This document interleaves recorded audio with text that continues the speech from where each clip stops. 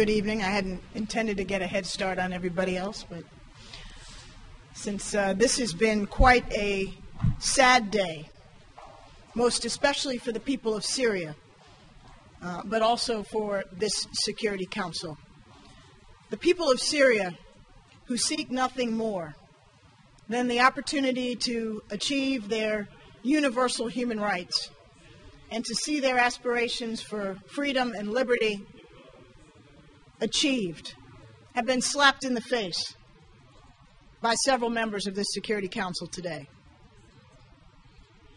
And as I said in the chamber, I think the people of Syria and the people of the region have had today the opportunity to determine who among us stand with the people of the region in their quest for a better future and who will go to whatever lengths are necessary to defend dictators who are on the warpath.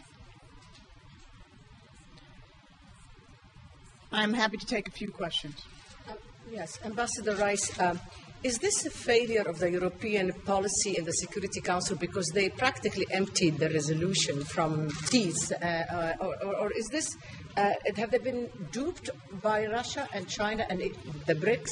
Or have, uh, has this exposed China, Russia, and the rest of the BRIC country? I mean, you, you did say there was cheap ruse uh, of, of a reaction, basically, by the Russians. What do you expect next? Can you explain these three, four elements of what I just asked you from your point of view as the U.S.? Well, first of all, the United States' view has been and remains that this council ought to pass a resolution that contains real sanctions. And that is uh, what we proudly co sponsored in August uh, and what we think is still warranted.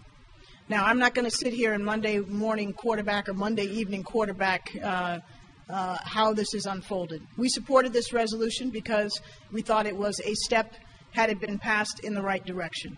But the fact that after days, if not a couple of weeks, of strenuous effort on the part of the Europeans to uh, achieve the consensus that, that ought to have been possible, uh, that that, uh, that effort of goodwill on their part was met with the response today, I think says the most about the people who are unable to support this resolution and those who cast the veto.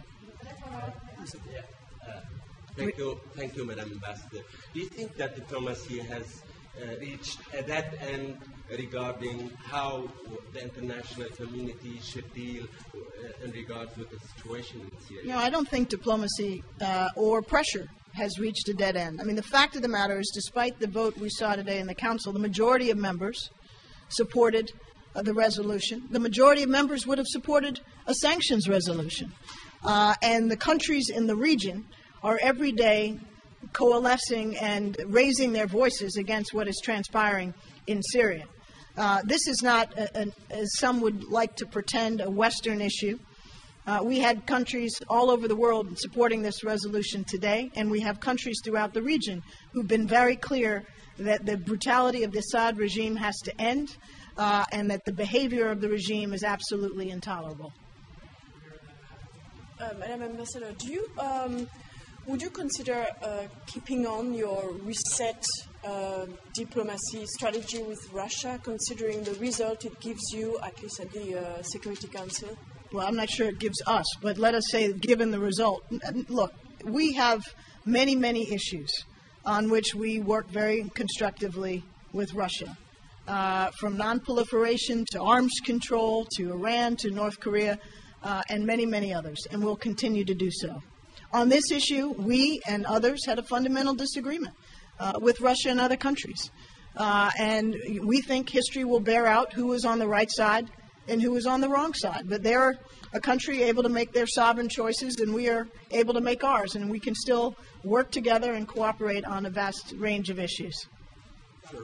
Yeah, sure. Best Rice, you, you, in the in the chamber, you said this is not about Libya, and it's it's it's about countries that want to sell uh, weapons to, to Syria. And I guess what I what I wonder is is the countries, say the IBSA countries, countries like Brazil and others. Do you think that the that, that the, the the what happened on Libya, that, that, that, a resolution was passed and then NATO bombed, and from, their, from the point of view of those countries, things went further than they authorized. Do you really think it had no impact on this, or, or do you think all those countries are selling weapons? I think I think this is an excuse. I think the vast majority of countries, even today on the Council, were, that were not able to vote in favor of this text, know that this was a resolution that in substance was unobjectionable. And their decisions to vote as they did may have had a lot less to do with the text uh, than it did with some effort to maintain solidarity among a certain group of countries. So I, I think Libya has been beat to death, overused, and misused as an excuse for countries not to take up their responsibilities with respect to Syria. May I follow up?